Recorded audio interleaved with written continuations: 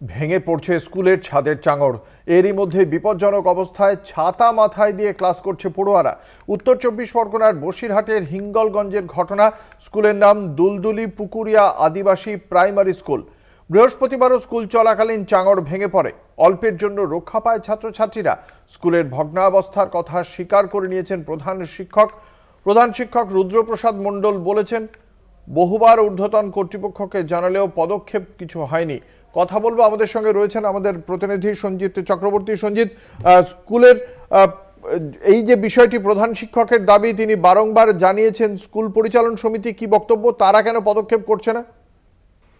দেখো, ইতিমধ্যে যে সন্ধান, বিশেষ করে উত্তর চব্বিশ পরগনার যে হিঙ্গলগঞ্জ ব্লক রয়েছে, দুলদুলি অত্যন্ত অত্যন্ত সুন্দরবন অঞ্চলে এই দুলদুলি আদিবাসী প্রাইমারি স্কুলের মধ্যে স্কুলের যে প্রাইমারি স্কুল থাকাকালীন যে ছেচল্লিশ জন ছাত্রছাত্রী রয়েছে তারা প্রায় মা এই দুর্যোগের কথা বারবার কিন্তু বলেছি স্কুলের কর্তৃপক্ষকে।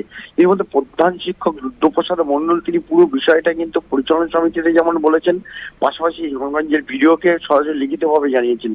দীর্ঘদিন অভিযোগ বিশেষ করে এই অর্থাৎ এখনও পর্যন্ত প্রশাসন কোনো পদক্ষেপ করেনি। কি বলছেন ওই স্কুলের প্রধান শিক্ষক শোনাবো?